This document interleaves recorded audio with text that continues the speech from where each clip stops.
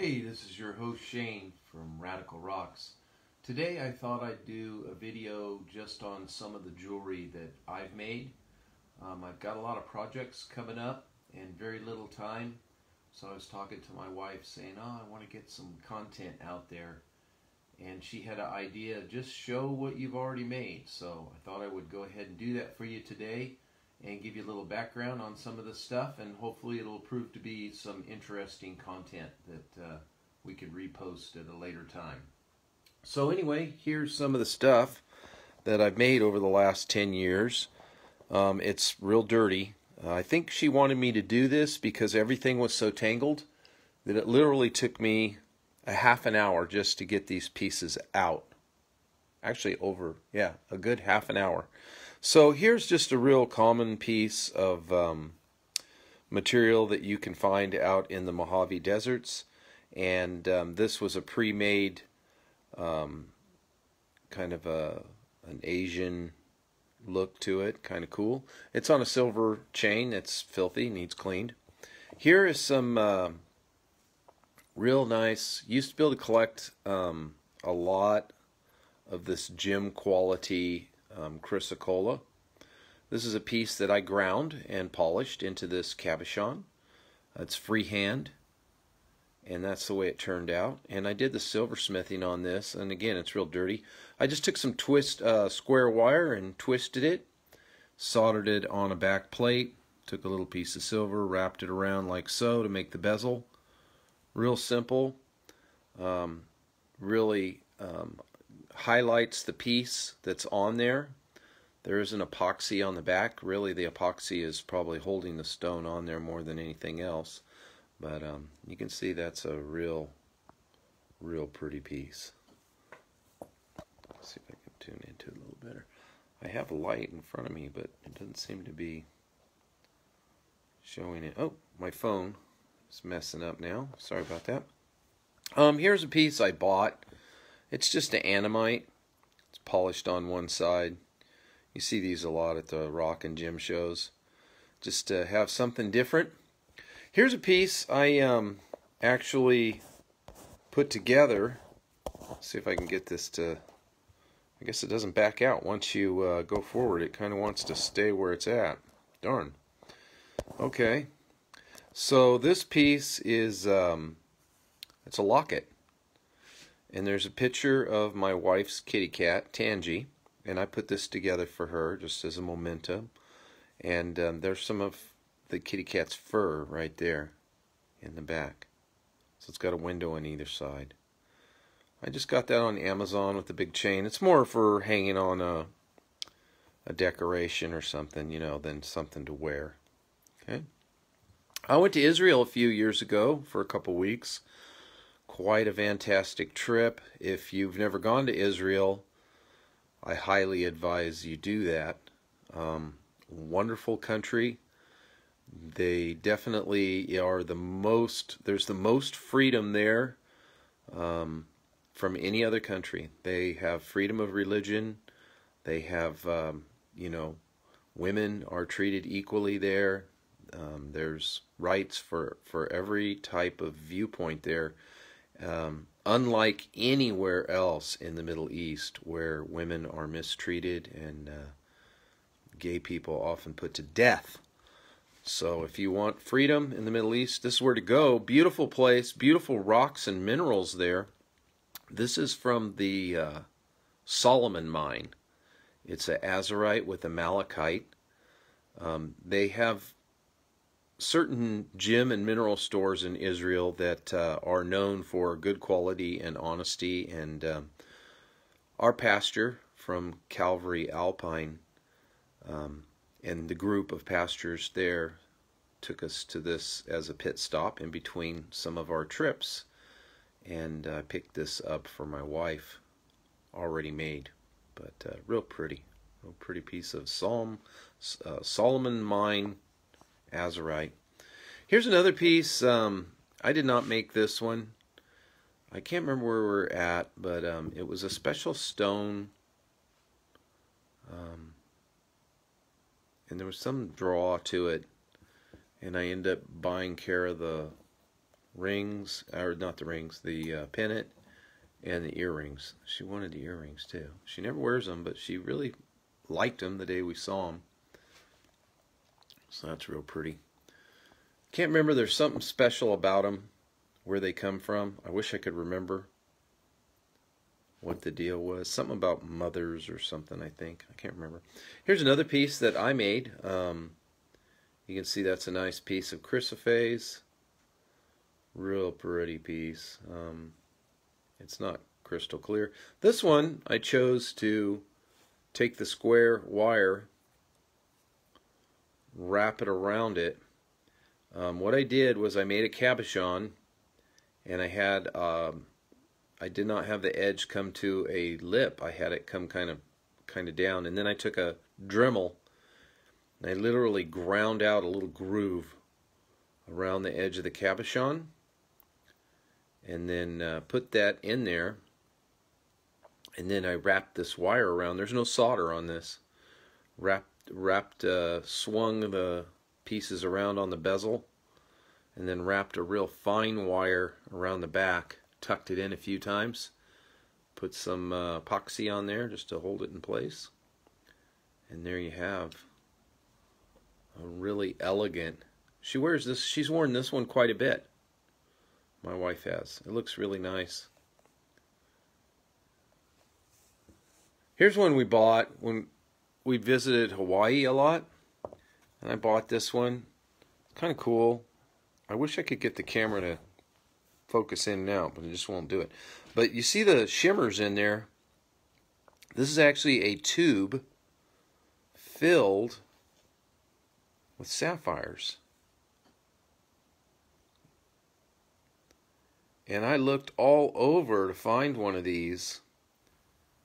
And um, we have some family friends that live on Maui and own a jewelry shop.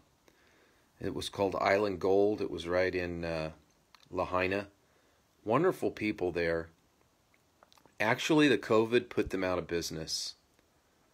Um, it put so many people out of business. They just couldn't afford it anymore. Um, all for. They were there for I don't know, 20 years, something like that, and uh, put out of business with so many other people put out of business in Hawaii. Hawaii's really hurting. A lot of people there really hurting because of this, uh, what's turned into political game with the COVID. All right. Um, here's another piece. This is a little piece of uh, Australian fire opal with a lot of blue and green, not the reds that you usually see.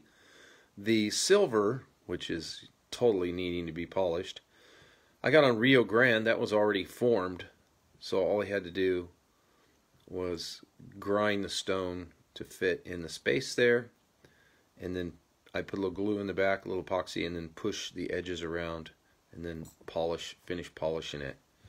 It's a nice little piece of opal there. Um, what is this one? This is actually a jade. Real dark jade. That's a sterling silver setting. It's just filthy. Another one I got at Rio Grande. Um, you can see the epoxy in the back. I didn't want it to fall out. It didn't seem like it was going to be in there very good. Um, so I put a lot of epoxy on it. It's a real nice piece of jade. Um, super dark. You can't really see it. The light's not showing up. It's almost like it's gotten darker. Here's just a little common um, gemstone I picked up. It was already carved, already polished. I just put it on this little finding. I could sometimes you go to uh, rock and mineral shows and you find like I found a bag of findings um, for nothing, you know, just a few bucks. So I bought it. And at first I thought, oh, they're all ugly, but you know, they end up being kind of cute, kind of neat, make nice little gifts. Here's what I'm real proud of. That is a blue cat's eye tourmaline. These are getting extremely hard to find. Um, they're really going up in value. I actually did the silversmithing on this. Um, I made the bezel out of that uh, wire there and um, soldered it to the little silver plate, wrapped around a uh, piece of double half round, and split it, and then uh, put my cabochon in there. Isn't that a beauty? Blue cat's eye. I got so I got a few of these um, from a friend of mine that goes into South America and able to get these at a really good price. I got this at an unbelievable price. But yeah, that is something. You gotta love that. All right, this is another one. I had a friend. His name was Forrest Blood. You've probably seen this one if you've watched my stuff. That's natural. That's a natural stone right there. That's called uh, staurolite. Uh, he was from Maine. I think he got this out of Maine, he said, if I remember right. Um, I made this. I did the silver work on this. It has no back. It's a it's a wire, and I put a lot of glue in there. You can see a lot of glue. I didn't want it to fall out. Um, the wire goes around, and then you you push it in. Probably could have been pushed in a little better. And then I soldered. I did buy this um, bezel, and I just soldered that. I got it on Rio Grande, and I just soldered it on there. It's pretty dirty, but it's all stainless. Beautiful piece. Got the cross there. Actually, that one's so nice. It's got a cross within a cross. It's really nice. That's a super nice one. It's probably the best one I've seen. I've only got a few more. I got one that looks like an angel. Pretty cool. All right. Um, here's another piece that I actually set that. Uh, again, this piece of aquamarine, I have a friend who, uh, it's seven and a half carats, something like that. I have a friend who uh, I used to see him all the time, and he went into Brazil and he could get me these at a real good price. Um, so it's it's stainless or it's uh, sterling silver. In hindsight, I wish I would have got gold. But white gold is a pain to work with if you scratch it because it's actually not white gold. It's a there's a coating, so you have to have you have to replate it with this white garbage, which is real slick like mercury. I don't even know what it's called. Um, I don't like it. I'm actually allergic to it. That white gold. But anyway, there's that. Um,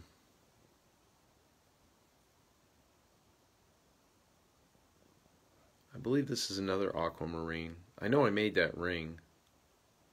Made that ring. Put those pieces right in the middle. And then soldered the um, top piece to it. Beautiful aquamarine that I set. I've set a few pieces. I'm not like, you know, I'm not an expert at settings, but I can do it. This, even though it's tiny, this doesn't really look like much. Um, that's alexandrite. This one does color changes. It goes from red to blue to a green, depending on what kind of light it is. You can see like it almost looks blue right there. So if it's in the sunlight, it's one color. If it's in a shadow, it's another. If it's in a fluorescent, it's another. I did not set this one. Again, this was a gold setting here, white gold. I don't do white gold. Plus, um, alexandrite is like more, much, much rarer than diamonds. This is a stone you should invest in. If you can buy these loose, this is this is an investment right here. I think it's better than gold um, in in some ways. So I went ahead and bought the finding, um, bought the ring for my friend, my connection, and um, had had a jeweler set it for me because I didn't want to. In fact, if you ever want a good jeweler, I know one in San Diego um, to get diamonds wholesale. So if you want to buy diamonds wholesale, I know a guy that he will get you a deal. Um, okay, he does it kind of on the side. He's kind of retired, so if you're in a big hurry, this is another from Hawaii. This is called a sunrise shell. In Hawaii, these were so uh, sought after and rare that the kings and royalty were the only ones that could wear them, according to the stories I read on the sunrise shell. These can come in yellows and blues, multicolor, rainbow colors. Um, orange is probably the more common one. Um, this one has a hint of yellow. And um, you just can glue a bead inside of it, and then you can run uh, a wire through it, or a, a necklace through it, so that you can wear it and have that feeling of Hawaii and the sun with you all year long. So, something like this. this one's not so bad because um, it's just one color. It's the more common color. But the bigger ones and the more colorful ones, the blue ones, the green one, the yellow, the multicolored ones, um, this one's like a hundred dollars. A hundred dollars. Um, if it were rainbow colored, it'd probably be like two hundred dollars. If it were you know, like as big as two and a half of my fingers, it would probably be five hundred dollars. you can pay you can pay up to five hundred dollars for these for a really nice rainbow colored one, no problem. Sunrise shell, very collectible. If you're ever um, on Kauai, they find them on the beach sometimes. That would be a very very blessed day for you. Um, Here's one. This is kind of special. They're all special, I guess. My son and I went and hiked six miles in on a 100 plus degree day. It's got a fracture there, but. Um, so this piece, what's called fortification. The Bible talks about fortified and fortification. Um, in history, fortification is something that has at least three sides on it. This three sides give you shelter. You can have shelter within this. Protection. Okay? Protection. Um,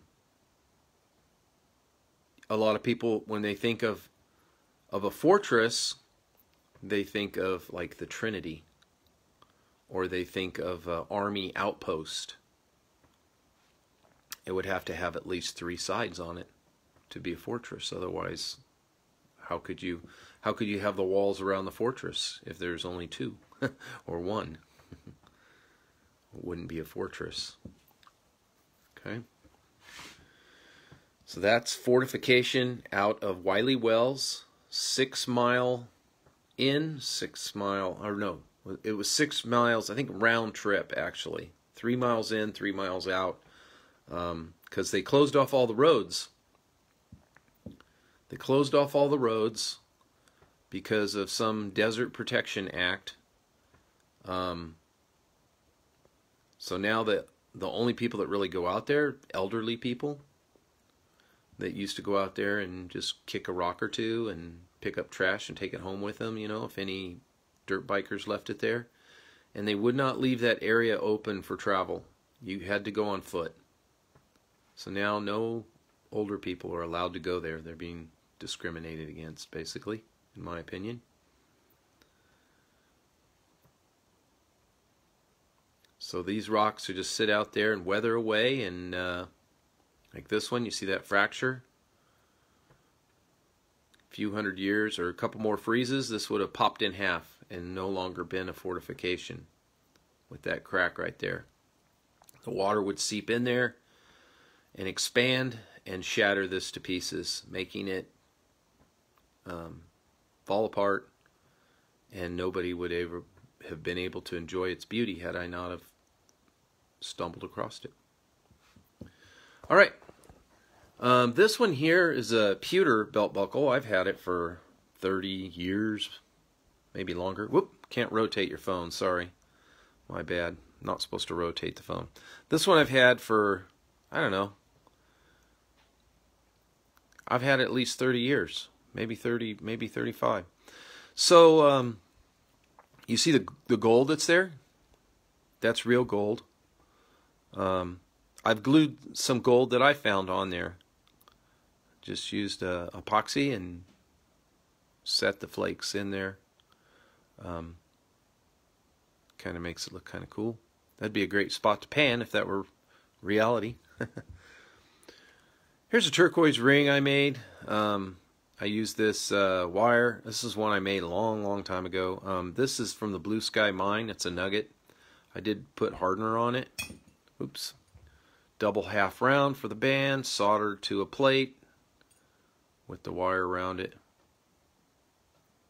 Here it's a little loose. Need to tighten it up. Here is a nice piece of rose quartz. Just made a cabochon, wrapped some more of that wire around there. There's a little glue in there probably. Not too heavy on the glue. Took a piece of half round, soldered on there, pretty simple bezel. It needs polished, of course, like I told you, all this stuff. Here is some uh, earrings. These ones are just kind of a squeeze them on clamp. And then you've got some nice jade. They were supposed to go with this this one. This one is um, I think it's a Wyoming jade, and these are like a British Columbian jade. At at one time they were about the same color, but uh, this one's gotten darker for some reason. I don't know. It's darker than I thought it was. All right, let's see what we got here. We got a piece of uh, cat's eye on just a little cheap finding that I, like I said, I came across. Um, there's some holes in there. You could do more with that. You could put a wire through there and put some beads in there. It's kind of a cool little finding if you wanted to snazz it up a little bit. But, um, yeah, this is a lemon drop. Um, uh, this is some other stuff I got from that buddy of mine in Maine a long time ago. Like God, 35 years ago. And I cabbed it up. Um, this, I think it, they, he called it a ghost agate. Um, a guy out of Utah is mining this ghost agate. And uh, I was at a Quartzsite show. Um, Actually, I think Kara and I went to that. That was probably about seven years ago, maybe eight. So I slabbed it out, um, made this nice long cab. Um, my wife has a really nice long neck, and um, these long cabs look really great on a pennant on her. She looks like Queen Elizabeth with these on her. So yeah, this is just another twisted wire. Twisted wire and then tied with some silver at the top. Wrapped in there, just a real basic bezel. This is one of the first ones I did like that where I just took the Dremel, ground a little groove in the edge to put my wire to hold it in there. And that's it real real simple way of doing a, a bezel for a pennant. Here's a little piece of rhodonite on um, another one of those findings. I just bought a bag of findings and put it on there. I'm not sure where this rhodonite's from. I don't think it's any special mine or anything. It's just something I got in a collection. This is um, rhodochrosite out of uh, Argentina. I bought a lot of this back uh, in the day. You can see the glue's kind of starting to turn color on the back there. I could uh, clean that up. Looks pretty dirty, huh? I should clean that up because if it flips over, it's going to look kind of nasty. So that could be sanded off. It's just kind of picked up uh, dirt and stuff over the years. So this is another one. My famous uh, grind the edge and um, put the twisted wire in there. You can tell I didn't grind that. Didn't, it's not perfectly straight, but it still works. You don't really notice it when you're looking at the front. So that almost concludes it. I've got a couple pieces of turquoise I wanted to share with you because um, I love turquoise. You guys, anybody who knows me knows I love turquoise, man. That's turquoise and real awesome agates are my weak spot. Look at that. What do you think of that? That's sweet. Raw, natural, untreated, unhardened Kingman turquoise. This is the pick of the litter with the black webbing. This stuff they sell at the mine by the gram if you're lucky enough to get it. Um, they will, I've told the story before, they will mine like a trash dumpster full of turquoise, okay? A huge trash dumpster, right? Like the dumpsters behind the the grocery store. Out of that, they will get about a trash can, right? 50 gallon trash can, like what you, the plastic ones that you pull to the curb, um, that you buy at, at Home Depot to throw your leaves in or whatnot. Out of that, they get some pretty good turquoise. It's hard. Um, they probably don't have to treat it. They can sell it like it is maybe put a little hardener in it, you know. And then from that, they get like a baseball cap full of, or maybe a small shoebox full of the really, really good stuff. Super good stuff. Okay? If that, okay? Little tiny bit out of that. And that's the stuff that you want to buy to make your jewelry out of. So my wife has a bunch of other pieces. I don't know where they're at. I couldn't find them. I was going to share them with you. I I made her a really nice turquoise belt buckle.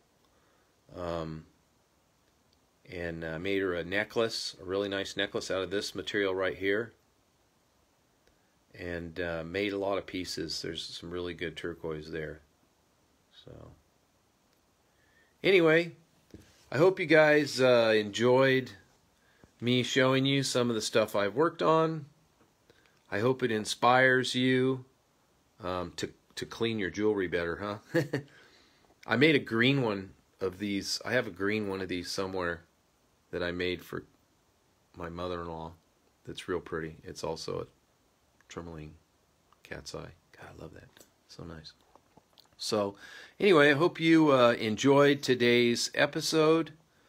Go down and check out radicalrocks.com. Sign up for the newsletter there. I don't give your email address to anyone. I, in fact, I haven't even sent out any emails in the last month, so you're not going to get plagued with emails. I was intending to um, send out an email when I do a, a live sale so that you would be notified. So if you want to be notified for the live sales, I sell the when I do the live, it's like super deals. Super good deals. So anyway, with that, remember rockhounds don't die, they petrify.